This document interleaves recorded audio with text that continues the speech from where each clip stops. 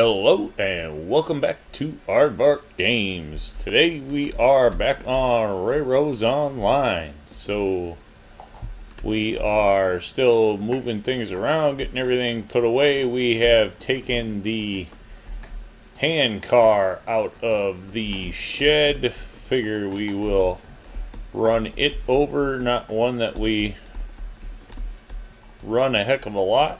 So uh yeah, it's pretty scarce that we actually run this thing. If I even remember how to run the thing.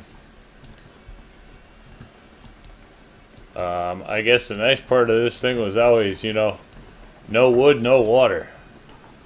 Just go. And it's very fast to re-rail. In fact, it's probably faster to just slam this thing into rail or into switches and re-rail it than it is to even get off it and flip switches. So, I'm not exactly sure where the switch is up here, but we may be doing just that very thing. I know at one time this thing would go so fast it'd throw you right off it. Um, its speed wasn't regulated. I don't think it does that anymore. Um, so, it's not a heck, I don't know. It's not like going out and surfing all crazy wild or anything anymore. It was for a minute. But pretty quiet ride. If you're into uh, you know, seeing the views, it'll be interesting how this one works out with um, the new track and the speed changes or when all that comes. Um, how fast this one's actually going to end up going. Alright, let's see. We can. Hello. Let me off. Flip that over quick. Whoa! Getting run down by the little bug. Sometimes you're the bug, sometimes you're the windshield.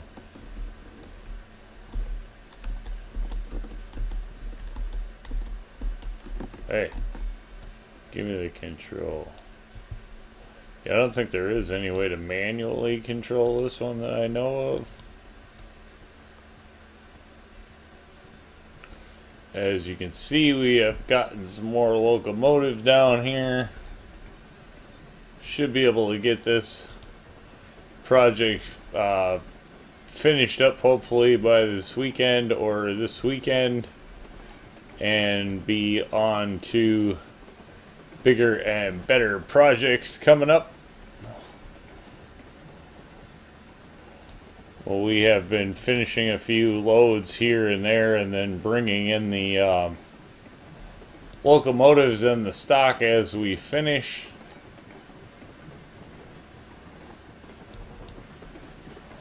Good, good. Yeah, good.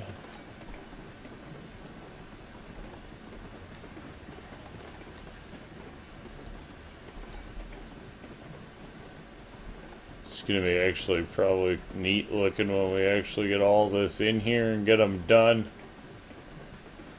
Be a display of everything that we have so far in the game.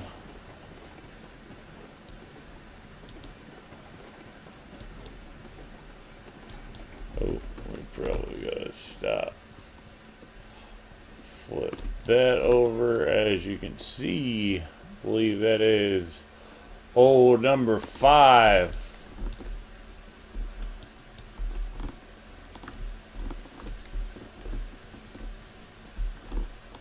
That is, oh yeah, the one we named after the Cookie Monster. Being it's a Cooke mogul and all cookie. Hot, hot. Alright, so back this bad boy up. Back, back, back, back, back. It's a Chris Berman special. Or Mark Berman, what is it? Chris, I forget what the guy's name was. ESPN, back in the day. Alright, there we are. Hand car Park. Oh, what is that? That's a tree sticking in the back of our shed.